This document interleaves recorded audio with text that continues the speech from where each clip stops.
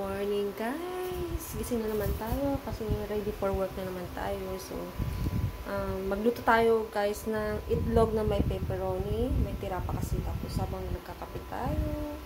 Tinapay with uh, peanut butter. Tapos ito igisa ko sa yung butchoy, gisa ko sa ano sa maraming bawang. Diba? Tapos, yan lang. Ulam natin sa trabaho. Tapos nagluluto na rin ating kanin. Okay, magluto tayo guys. Tapos may avocado pa pala tayo. Diba? Dami natin pagkain.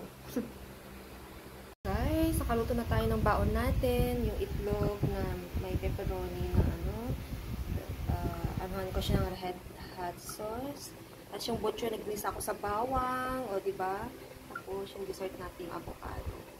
Oh, guys, siya ang ulam natin sa, ba sa ano, sa work. O, diba? Yummy.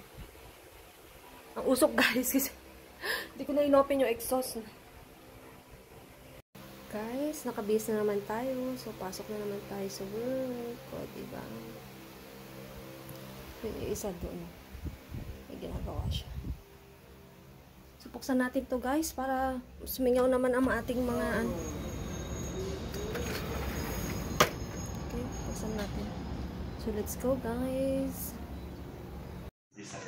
Papakita kay Marius. Ah, so meron? Meron. Pero 700. 100 plus. Online, ano? Sige na. Visit down daw. Para napupupo. Hindi pa. Papakita ko sa anak ko.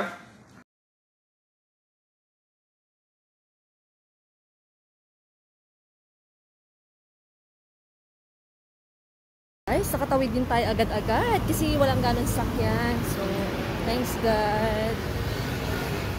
Nakawid tayo na yung safe. Lalakad na ako dito sa sidewalk. Uy, ano yan? So, guys, andito na tayo. Pakit na tayo. Magandaan talaga ako sa ilaw. Diba? Go, guys. So, andito na tayo sa lobby.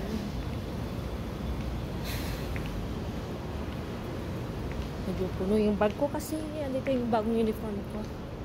Yung bagong uniform din ko. So, paket na tayo. Wala tayong kasabay sa elevator.